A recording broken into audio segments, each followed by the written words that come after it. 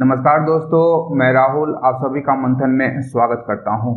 आज के इस सेशन में हम लोग झारखंड की अर्थव्यवस्था से संबंधित, झारखंड में उद्योग से संबंधित महत्वपूर्ण प्रश्नों के पहले भाग को देखेंगे पूर्व की तरह ही इस सेशन के लिए मैंने झारखंड में आयोजित पूर्व की परीक्षाओं में पूछे गए विभिन्न प्रश्नों को इस सेशन के लिए मैंने शामिल किया है आगे बढ़ने से पूर्व यदि आप लोग इस सेशन का पीडीएफ प्राप्त करना चाहते हैं तो गूगल प्ले स्टोर से मेरे ऐप को डाउनलोड कर आप उसे फ्री ऑफ़ कॉस्ट प्राप्त कर सकते हैं।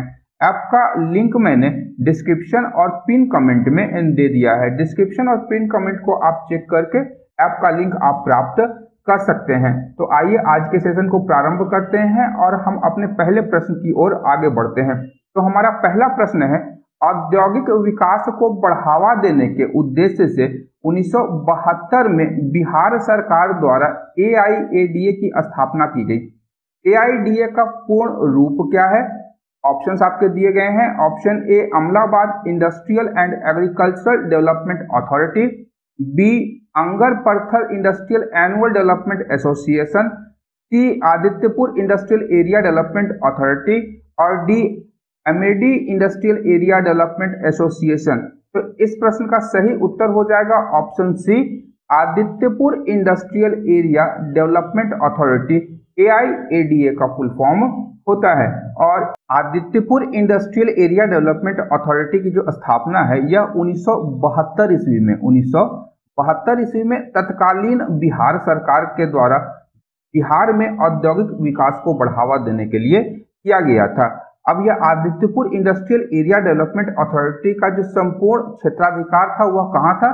तो ध्यान रखिएगा, यह कोल्हान प्रमंडल में था। कोल्हान प्रमंडल के अंतर्गत Adityapur industrial area development authority आता है और इसके अंतर्गत वर्तमान समय में झारखंड के तीन ज़िले, पश्चिमी सिंहभूम, सरायकेला, खरसावा और पूर्वी सिंहभूम को शामिल किया जाता है। ध्यान रखिएगा, Adityapur industrial area development authority के अंतर्गत झारखंड के तीन जिलों को शामिल किया जाता है। अगला प्रश्न है, बोकारो स्टील प्लांट सार्वजनिक क्षेत्र में चौथे एकीकृत प्लांट की स्थापना किसके सहयोग से हुई थी? ऑप्शंस दिए गए हैं, A Japan, B Australia, C संयुक्त राज्य अमेरिका और डी सोवियत संघ। तो यहाँ पर आपको बताना है कि किस देश के सहयोग से बोकारो स्टील प्लांट की स्थापना की गई थी? तो इस प्रश्न का उत्तर हो जाएगा ऑप्शन डी सोवियत संघ के सहयोग से बोकारो स्टील प्लांट की स्थापना की गई थी। और यह जो स्थापना किया गया था इस प्लांट का, झारखंड के बोकारो ज़िले में, ध्यान रखिएगा, वर्तमान झारखंड के बोकारो ज़िले में, बोकारो तथा दामोदर नदियों के संगम पर स्थित माराफारी, ध्यान रखिएगा, बोकारो और दामोदर नदी के संगम पर माराफारी नामक गाँव में इसकी स्थापना की गई थी और स्थापना का कार्य जो था यह उन्नीस सौ पैंसठ ईस्वी से प्रारंभ हुआ था और उन्नीस सौ छियासठ ईस्वी में इसकी आधारशिला तत्कालीन प्रधानमंत्री इंदिरा गांधी के द्वारा रखा गया था। इस कारखाने का जो निर्माण कार्य था, यह 6 अप्रैल निर्माण कार्य 6 अप्रैल 1968 से प्रारंभ हुआ था निर्माण कार्य और इस कारखाने से 2 अक्टूबर, दो अक्टूबर 1972 2 अक्टूबर को महात्मा गांधी का जन्म दिवस भी है और दो अक्टूबर को ही बोकारो स्टील प्लांट से उत्पादन या इस्पात का उत्पादन प्रारंभ हो गया था और इस कारखाने को पूर्ण होने में जो समय लगा था वह लगभग 26 फरवरी 26 फरवरी 1978 ईस्वी तक यह जाकर के पूर्ण रूप ले पाया था। तो यहाँ पे कुछ डेट्स हैं। इन डेट्स को आप ध्यान में रखिएगा कि यदि कोई भी डेट से प्रश्न पूछा जाता है तो आप उसका सही सही उत्तर दे सकते हैं। अगला प्रश्न है, धनबाद के निकट एक प्रसिद्ध उर्वरक कॉम्प्लेक्स सिंदरी यूनिट झारखंड में किस नदी के तट पर स्थित है? ऑप्शन है आपके दामोदर, मयूराक्षी स्वर्ण रेखा और डी शंख नदी। तो इस प्रश्न का उत्तर हो जाएगा ऑप्शन ए, दामोदर नदी के किनारे धनबाद में सिंदरी यूनिट स्थित है और सिंदरी में उर्वरक कॉम्प्लेक्स स्थित है, जहाँ विभिन्न प्रकार के उर्वरकों का निर्माण किया जाता है। मैप में यदि हम लोग देखने का प्रयास करें तो ये रहा आपका धनबाद और धनबाद में सिंदरी में आपका स्थापित किया गया है उर्वरक कॉम्प्लेक्स और यह किसके किनारे है? सिंदरी उर्वरक, दामोदर नदी के किनारे। स्थित है, ध्यान रखिएगा, सिंदरी उर्वरक कहाँ है? तो दामोदर नदी के किनारे स्थित है। अगला प्रश्न है, झारखंड का Nilanchal iron and power limited पूर्ण स्वामित्व वाली किसकी सहायक कंपनी है? ऑप्शंस है Bal private limited, B Kohinoor industries limited, C Jai Balaji industries limited और D Shivam group of companies. तो इस प्रश्न का उत्तर हो जाएगा ऑप्शन सी, जय बालाजी इंडस्ट्रीज़ लिमिटेड का एक सहायक कंपनी है कौन?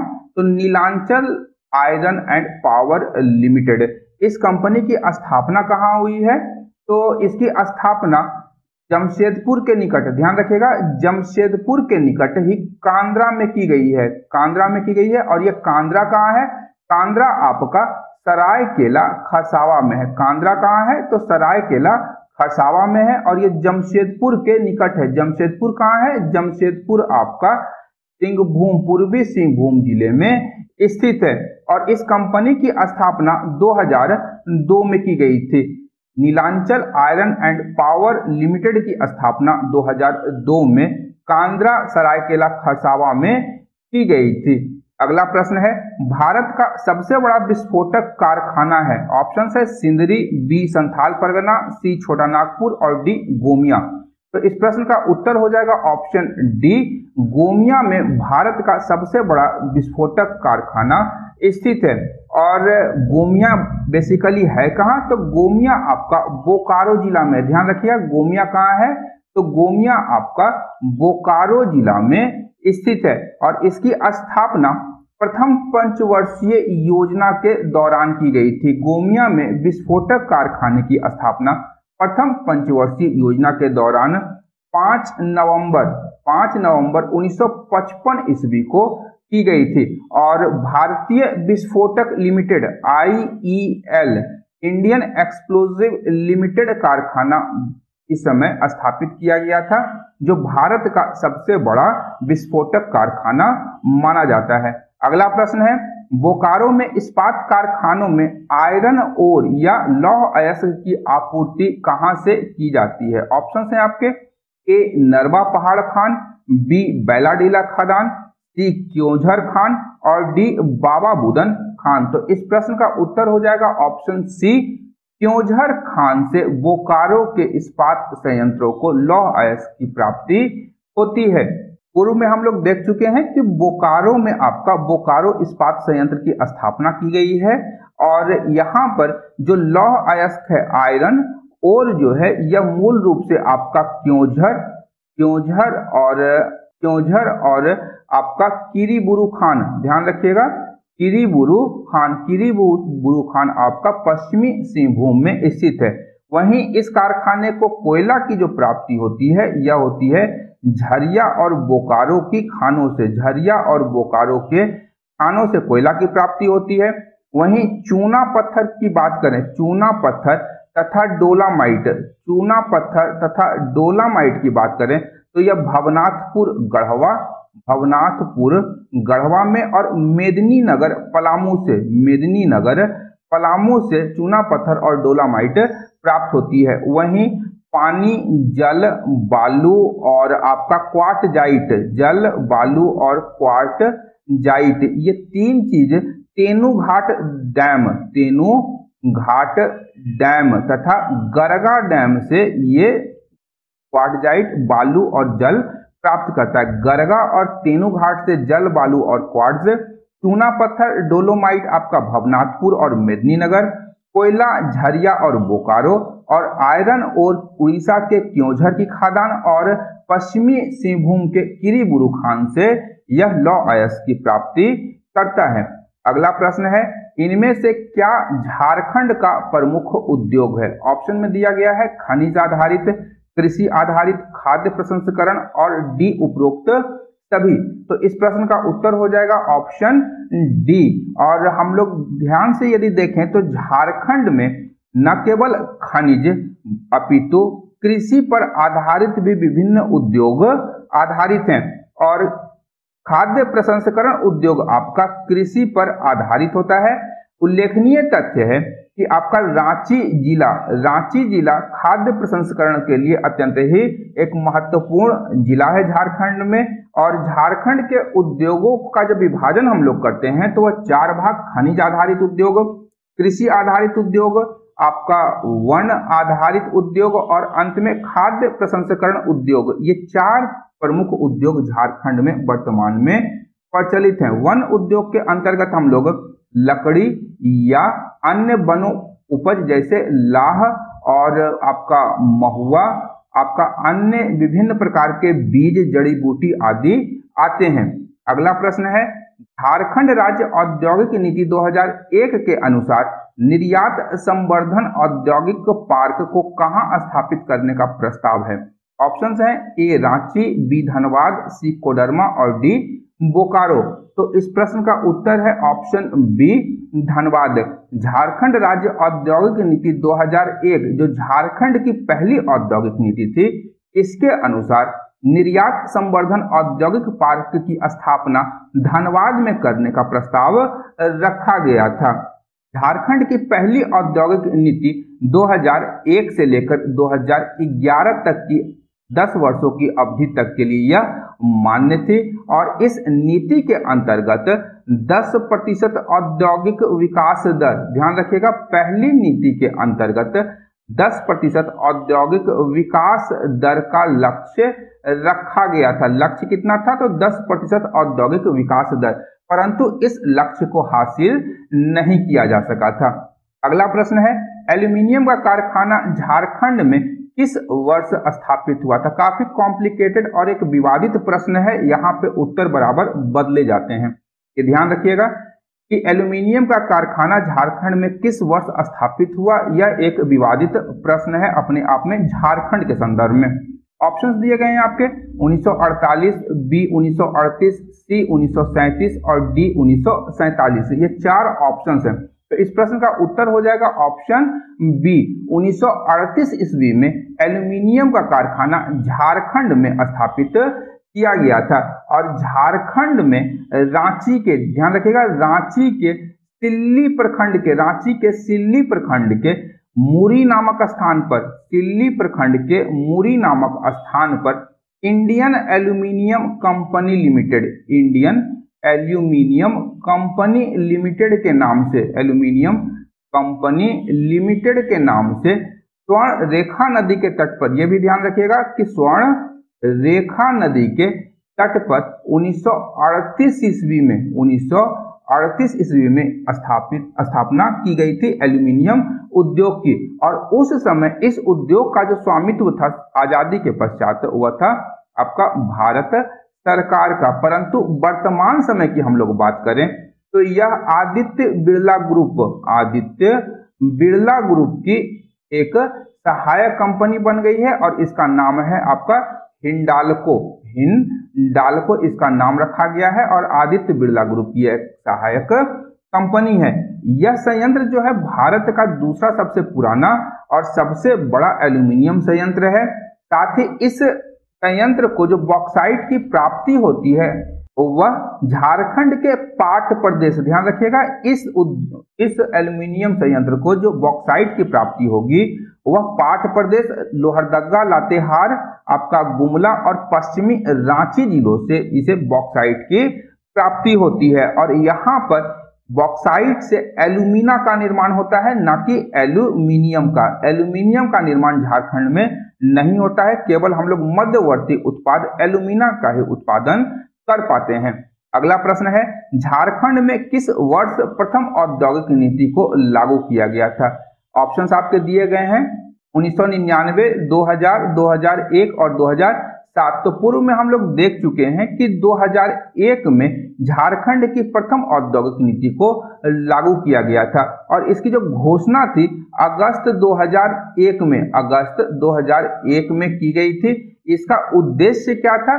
तो राज्य में घरेलू घरेलू एवं विदेशी पूंजी निवेश, विदेशी पूंजी निवेश को बढ़ावा देना इसका मूल उद्देश्य था। विदेशी पूंजी निवेश को बढ़ावा देना इसका मूल उद्देश्य था।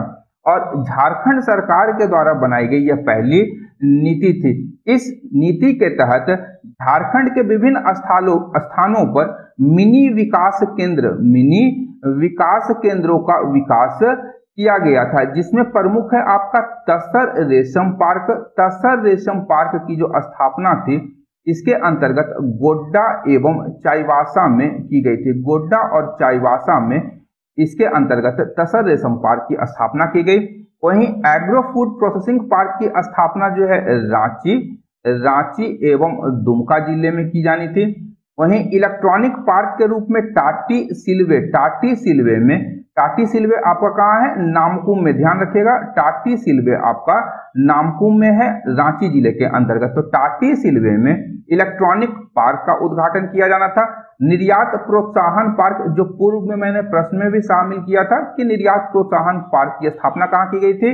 तो निर्यात प्रोत्साहन पार्क की स्थापना आपका धनबाद में की गई थी और प्लास्टिक पार्क की स्थापना प्लास्टिक पार्क की स्थापना देवीपुर, देवघर में, देवीपुर, देवघर ज़िले में की जानी थी। इसके अतिरिक्त सॉफ्टवेयर टेक्नोलॉजी पार्क के रूप में रांची, जमशेदपुर, जसीडी और धनबाद में मिनी केंद्र का विकास किया जाना था। अगला प्रश्न है, झारखंड राज्य उद्योग नीति 2012 के अनुसार निम्नलिखित में से कौन सी कच्ची सामग्री, भंडार और उद्योग, घाटशिला औद्योगिक क्षेत्र से संबंधित है?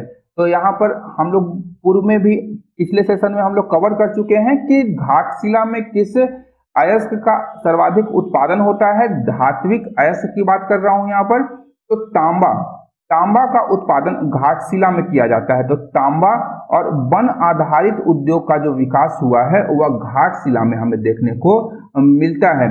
और झारखंड राज्य उद्योग नीति 2012 के अनुसार तांबा और वन आधारित उद्योग घाटशिला औद्योगिक क्षेत्र से संबंधित है।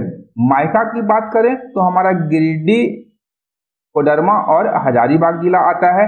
बॉक्साइट पाट के क्षेत्र में और कोयला जो है आपका उत्तरी तथा दक्षिणी छोटा नागपुर के जिलों में प्राप्त होता है। अगला प्रश्न है कि टिस्को को निम्नलिखित खानों में से किससे लौह अयस्क की आपूर्ति प्राप्त होती है? तो ऑप्शन है आपका बाबा बुदन, बी नोवा मुंडी बेलाडीला और डी क्योंझर। तो इस प्रश्न का उत्तर हो जाएगा ऑप्शन बी नोवा मुंडी से इसको को लौ अयस की प्राप्ति होती है? और ये नोआ मुंडी की खान बेसिकली है कहाँ? तो नोआ मुंडी की खान पश्चिमी सिंहभूम में स्थित है। नोआ मुंडी की खान पश्चिमी सिंहभूम में स्थित है। और इसको को कोयला रानीगंज से। ध्यान रखिएगा, कोयला जो टिस्को को प्राप्त होता है, वह रानीगंज, झरिया और बोकारो। रानीगंज, झरिया और बोकारो से क्या प्राप्त होता है? कोयले की प्राप्ति होती है। मैग्नीज और क्रोमाइट। मैग्नीज एवं क्रोमाइट, ये दोनों अयस्क जो हैं, ये आपका चाईवासा से प्राप्त होता है। चाईवासा और सुकिंडा। सुकिंडा आपका सुकिंडा की खान ओडिशा में है। सुकिंडा से क्या प्राप्त होता है? मैग्नीज और क्रोमाइट। चूना पत्थर और डोलोमाइट। चूना पत्थर एवं डोलोमाइट। एवं डोलोमाइट। डोलो माइट प्राप्त होता है आपका सुंदर नगर सुंदर नगर ओडिशा से। सुंदर नगर ओडिशा से चूना पत्थर और डोलोमाइट की प्राप्ति होती है। वहीं कच्चा लोहा मयूरभंज, ओडिशा तथा नोआ मुंडी सिंहभूम से प्राप्त हो जाता है, जो हम लोग पूर्व में देख चुके हैं। और जल जो है स्वर्ण रेखा जल क्वार्जाइट और बालू, ये तीनों चीज़ कहाँ से प्राप्त हो जाएगा? स्वर्ण रेखा और खरकई नदी से। स्वर्ण रेखा और खरकई नदी से जल क्वार्जाइट और बालू की प्राप्ति टिस्को को होती है? अगला प्रश्न है, झारखंड सरकार की 2016 औद्योगिक नीति के लागू रहने की अवधि है, कितने वर्षों तक थी? तो ऑप्शन है आपका ए पाँच वर्ष तक यह लागू रहने की अवधि थी और वर्तमान समय में यह नीति समाप्त हो चुकी है और 2021 में झारखंड सरकार ने नई औद्योगिक नीति को लागू कर दिया है। इस नीति की जो अवधि थी 2016 की औद्योगिक नीति की, यह थी आपका 1 अप्रैल से 1 अप्रैल 2016 से लेकर के आपका 31 मार्च 2021 तक और नई औद्योगिक नीति 2021 जो लागू हुई है, वह भी 1 अप्रैल 2021 से लेकर के अगले पाँच सालों के लिए, यानी 2026 तक 31 मार्च 2026 तक नई औद्योगिक नीति लागू, अभी लागू है। अगला प्रश्न है एच जो सार्वजनिक क्षेत्र का एक उपक्रम है, को स्थापित किया गया था। कब स्थापित किया गया था? ऑप्शंस दिए गए हैं, उन्नीस सौ अट्ठावन, उन्नीस या उन्नीस सौ बावन। तो इस प्रश्न का उत्तर हो जाएगा ऑप्शन ए उन्नीस सौ अट्ठावन में एच की स्थापना की गई थी। और एच जिसे हम लोग हैवी इंजीनियरिंग कॉरपोरेशन लिमिटेड के नाम से भी जानते हैं, इसकी स्थापना कब की गई थी? तो 31 दिसंबर उन्नीस सौ अट्ठावन ईस्वी को रांची के हटिया धुरवा, ध्यान रखिएगा, रांची के हटिया में, रांची के हटिया में इसकी स्थापना की गई थी। 15 नवंबर उन्नीस को 15 नवंबर उन्नीस को तत्कालीन प्रधानमंत्री जवाहरलाल नेहरू के द्वारा, जवाहरलाल नेहरू के द्वारा इस संयंत्र को राष्ट्र को समर्पित किया गया था। तथा इस संयंत्र से उत्पादन जो है उन्नीस से प्रारंभ हो गया था। उत्पादन कब से प्रारंभ हुआ? तो उन्नीस से उत्पादन प्रारंभ हुआ था। और तत्कालीन प्रधानमंत्री जवाहरलाल नेहरू ने इसे आधुनिक भारत के मंदिर एचईसीएल को आधुनिक भारत के मंदिर की संज्ञा दी थी। यह भी बहुत बार पूछा जा चुका है कि आधुनिक भारत के मंदिर किस संयंत्र को कहा गया है। तो वह एच को कहा गया है। अगला प्रश्न है, झारखंड सरकार की नई औद्योगिक नीति 2016 ने ग्रामीण विद्युतीकरण को सर्वोच्च प्राथमिकता देते हुए विद्युतीकरण का लक्ष्य कब तक का रखा था? ऑप्शन में दिए गए हैं आपके 2017 तक यह लक्ष्य निर्धारित था। ऑप्शन ए में 70 प्रतिशत, बी 80 प्रतिशत, सी 90 प्रतिशत और डी 100 प्रतिशत। तो इस प्रश्न का उत्तर हो जाएगा ऑप्शन डी। 100 परसेंट विद्युतीकरण का लक्ष्य रखा गया था 2017 तक। किस औद्योगिक नीति में? तो 2016 की औद्योगिक नीति में। वर्तमान समय में 1 अप्रैल 2021 से झारखंड में नई औद्योगिक नीति लागू हो चुकी है। औद्योगिक नीति 2021 लागू हो चुकी है और यह नीति भी अगले पाँच वर्षों तक के लिए संचालित की जाएगी। और इस नीति में पाँच सेक्टर, ध्यान रखिएगा कि औद्योगिक नीति 2021 में पाँच सेक्टर में मूल रूप से फोकस किया जाएगा।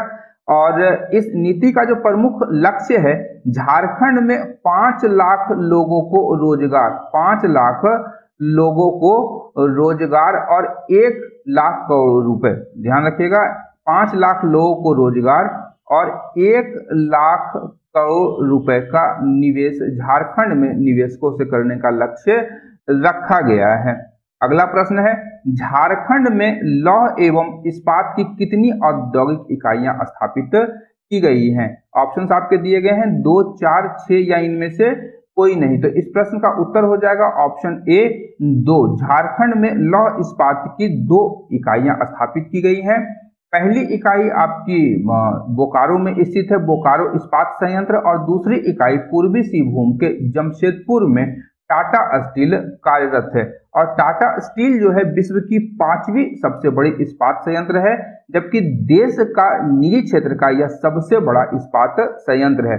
वहीं बोकारो इस्पात संयंत्र की बात करें तो यह संयंत्र देश का पहला स्वदेशी लौह इस्पात संयंत्र है, जिसकी स्थापना तीसरी पंचवर्षीय योजना के अंतर्गत की गई थी। तीसरा फाइव ईयर प्लान के अंतर्गत बोकारो इस्पात संयंत्र की स्थापना की गई थी। अगला प्रश्न है, झारखंड का पहला कॉपर गलाने का केंद्र कहाँ बनाया गया था? ऑप्शन है आपके A Dhanbad, B Ghatshila, C Muri और डी जमशेदपुर। तो इस प्रश्न का उत्तर हो जाएगा ऑप्शन बी, घाटशिला में झारखंड का पहला कॉपर गलाने का केंद्र बनाया गया था। कॉपर क्या होता है आपका? तांबा। ध्यान रखिएगा, कॉपर क्या होता है? तो तांबा होता है। और यह घाटशिला जो है, कहाँ है? तो पूर्वी सिंहभूम में स्थित है। और इसकी स्थापना कब की गई थी? तो 1924 ईस्वी में पहला तांबा उत्पादन खान यहाँ पर स्थापित किया गया था। और 1930 ईस्वी में, ध्यान रखिएगा 1924 में पहला तांबा उत्पादन खान स्थापित किया गया है घाटशिला में और 1930 ईस्वी में घाटशिला के ही निकट इंडियन कॉपर कॉरपोरेशन लिमिटेड द्वारा तांबा खनिज शोधन कारखाना प्रारंभ किया गया था और 1930 में ही यहाँ पर पीतल बनाने का कारखाना 1930 में पीतल बनाने का कारखाना स्थापित किया गया था। अगला प्रश्न है, झारखंड भारत के कुल लौह इस्पात का कितना प्रतिशत का उत्पादन करता है? ऑप्शन है आपके ए सत्रह दशमलव छह ज़ीरो प्रतिशत बी तेईस दशमलव चार ज़ीरो प्रतिशत सी पंद्रह दशमलव तीन ज़ीरो प्रतिशत और डी पच्चीस दशमलव पाँच ज़ीरो प्रतिशत। तो इस प्रश्न का उत्तर हो जाएगा ऑप्शन डी झारखंड के कुल, झारखंड में भारत के कुल लौह इस्पात का पच्चीस दशमलव पाँच ज़ीरो प्रतिशत अकेला उत्पादित करता है। अगला प्रश्न है झारखंड में किस स्थान पर औद्योगिक विकास केंद्र की स्थापना की गई है? तो ऑप्शन आपके दिए हुए हैं। Option A Ranchi, Dhanbad. B Barhi, Hazaribagh. C Namkum, Ranchi. और डी तुपुदाना, रांची। तो इस प्रश्न का उत्तर हो जाएगा ऑप्शन बी बरही, हजारीबाग में औद्योगिक विकास केंद्र की स्थापना की बात की गई है। ये हजारीबाग डिस्ट्रिक्ट है और यहाँ पर बरही में आपका औद्योगिक विकास केंद्र की स्थापना की बात की गई है। और वर्तमान समय में बरही नए औद्योगिक नगरी के रूप में विकसित हो रहा है। अगला प्रश्न है, झारखंड का एक औद्योगिक विकास क्षेत्र आदित्यपुर इस शहर के समीप स्थित है? ऑप्शंस आपके हैं, रांची, गिरिडीह, जमशेदपुर और बोकारो। तो इस प्रश्न का उत्तर हो जाएगा ऑप्शन सी, जमशेदपुर के निकट आदित्यपुर औद्योगिक विकास क्षेत्र स्थित है। जमशेदपुर कहाँ है? तो जमशेदपुर आपका पूर्वी सिंहभूम में है। और आदित्यपुर की हम लोग बात करें तो आदित्यपुर सरायकेला खरसावा के अंतर्गत आता है। आदित्यपुर सरायकेला खरसावा जिला के अंतर्गत आता है। अगला प्रश्न है, Indo Asahi glass company limited Jharkhand के निम्नलिखित में से किस ज़िले में एक प्रमुख ग्लास कंपनी है? ऑप्शन ए है, गढ़वा, बी सिमडेगा, सी रामगढ़ और डी जामताड़ा। तो इस प्रश्न का उत्तर हो जाएगा ऑप्शन रामगढ़ में Indo Asahi glass company limited की स्थापना की गई है। ध्यान रखिएगा, इंडो असाई ग्लास फैक्ट्री की स्थापना कहाँ की गई है? तो यह की गई है रामगढ़ ज़िले में और रामगढ़ ज़िले में इस कंपनी की स्थापना जापान के सहयोग से की गई है। जापान के सहयोग से रामगढ़ के भूरकुंडा में, रामगढ़ के भूरकुंडा में इस अत्याधुनिक कांच कारखाने को स्थापित किया गया है। और झारखंड की ही बात करें तो यहाँ पर कांच उद्योग के अन्य प्रमुख केंद्र कहाँ कहाँ है? तो इसके केंद्र है कांद्रा सॉरी कांद्रा आपका सरायकेला खसावा में है, कांद्रा में स्थित है। सरायकेला खसावा में दूसरा है आपका धनबाद दूसरा आपका धनबाद जो कि यहाँ पर आपका कतरास हो जाएगा। कतरास, सरायकेला खसावा में कांद्रा और धनबाद का ही एक दूसरा केंद्र है अम्बोना अम्बोना भी धनबाद में है और एक प्रसिद्ध कांच उद्योग के लिए, कांच उद्योग के लिए यह प्रमुख केंद्र के रूप में जाना जाता है।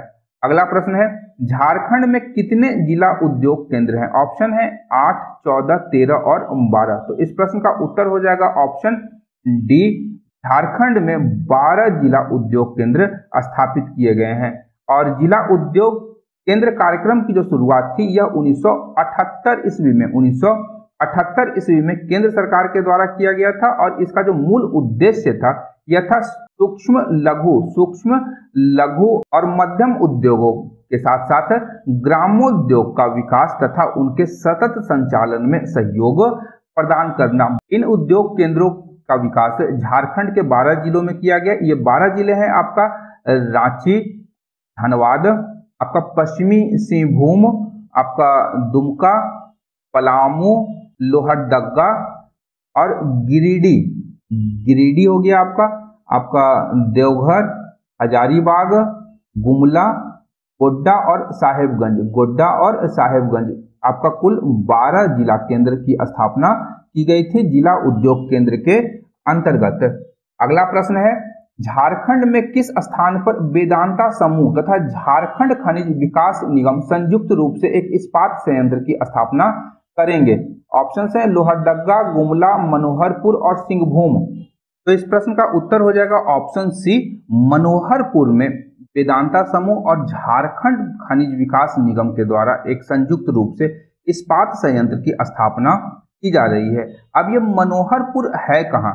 तो पश्चिमी सिंहभूम में स्थित है। मनोहरपुर कहाँ है? पश्चिमी सिंहभूम में स्थित है और यहाँ पर वेदांता और झारखंड खनिज विकास निगम के द्वारा एक लौह इस्पात संयंत्र की स्थापना का विकास किया जाना है। अगला प्रश्न है, भारत सरकार ने इलेक्ट्रॉनिक निर्माण क्लस्टर की स्वीकृति दी है। कहाँ पे दी है? ऑप्शन है आदित्यपुर, बी तुपुदाना, सी जसीडी और डी बोकारो। तो इस प्रश्न का उत्तर हो जाएगा ऑप्शन ए, आदित्यपुर में भारत सरकार ने इलेक्ट्रॉनिक निर्माण क्लस्टर की स्वीकृति प्रदान की है। और आदित्यपुर कहाँ पे स्थित है? तो यह जमशेदपुर के पास आदित्यपुर औद्योगिक क्षेत्र में यह स्थित है। यहाँ पर 500 करोड़ रुपए का विनिवेश किया जाएगा। सॉरी, निवेश किया जाएगा। विनिवेश आपका अलग अर्थ हो जाता है। यहाँ पर 500 करोड़ रुपए का निवेश किया जाएगा और मुख्य रूप से यहाँ पर एलईडी बल्ब और एलईडी टीवी, एलईडी बल्ब और टीवी के साथ साथ ऑटोमोबाइल तथा मोबाइल उद्योग, ऑटोमोबाइल तथा मोबाइल में उपयोग किए जाने वाले विभिन्न प्रकार के इलेक्ट्रॉनिक कंपोनेंट का विकास या निर्माण इस क्लस्टर में किया जाएगा। अगला प्रश्न है, national institute of foundry and forge technology N I F F T कहाँ पर स्थित है? ऑप्शन है आपके, जमशेदपुर, धनबाद, रांची और चाईवासा तो इस प्रश्न का उत्तर हो जाएगा ऑप्शन सी, रांची में। National institute of foundry and forge technology स्थित है। अगला प्रश्न है जेएस एमडीसी द्वारा स्थापित ग्रेनाइट पॉलिशिंग उद्योग अवस्थित है। कहाँ है? तो तुपुदाना, रांची, बी, मधुपुर, सी, पाकुड़ और डी, सरायकेला, खरसावा। ये चारों ऑप्शन है। और इस प्रश्न का उत्तर हो जाएगा ऑप्शन ए, तुपुदाना, रांची में जेएसएमडीसी द्वारा ग्रेनाइट पॉलिशिंग उद्योग का विकास किया गया है। और खूंटी के पेलांगी, ध्यान रखिएगा, खूंटी के पेलांगी प्रोजेक्ट से ग्रेनाइट की कटिंग और पॉलिशिंग का काम किया जाता है। और तुपुदाना है कहाँ? तो तुपुदाना आपका रांची में है, जहाँ खूंटी के पेलांगी से ग्रेनाइट की कटिंग और पॉलिशिंग के लिए यहाँ से ग्रेनाइट पत्थर को भेजा जाता है। अगला प्रश्न है कंपनी के नाम झारखंड में उनके संबंधित पते के साथ में हमें मिलाना है। कंपनी का नाम दिया गया है हुडको, दूसरा है वेदांता लिमिटेड, तीसरा है डालमिया सीमेंट और पता दिया गया है ऑप्शन ए, बी और सी में। तो हुडको का हमारा जो कंपनी है, इसका पता कहाँ पर है? तो यहाँ पर हो जाएगा ऑप्शन सी। हुडको जो है, यहाँ पर सी में। अशोक नगर लिमिटेड, रांची में स्थित है। वेदांता लिमिटेड जो है आपका वह हरमू रांची में है और डालमिया सीमेंट भारत बालीडी बोकारो में है। तो अगर हम ऑप्शन के अनुसार देखें तो हमारा ऑप्शन बी सही बैठता है। ऑप्शन बी सही उत्तर इसका हो जाएगा। अगला प्रश्न है, आदित्यपुर औद्योगिक क्षेत्र, जो एशिया के सबसे बड़े औद्योगिक क्षेत्र में से एक है, वह स्थित है कहाँ? A Konar, B Saraikela, C Jamshedpur और डी बोकारो। तो इस प्रश्न का उत्तर हो जाएगा ऑप्शन बी।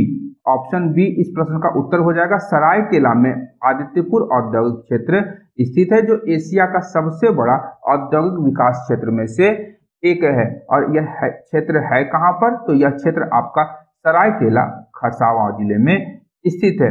और आदित्यपुर औद्योगिक क्षेत्र विकास प्राधिकरण के अंतर्गत जमशेदपुर का क्षेत्र तथा ये संपूर्ण कोल्हान प्रमंडल शामिल होता है।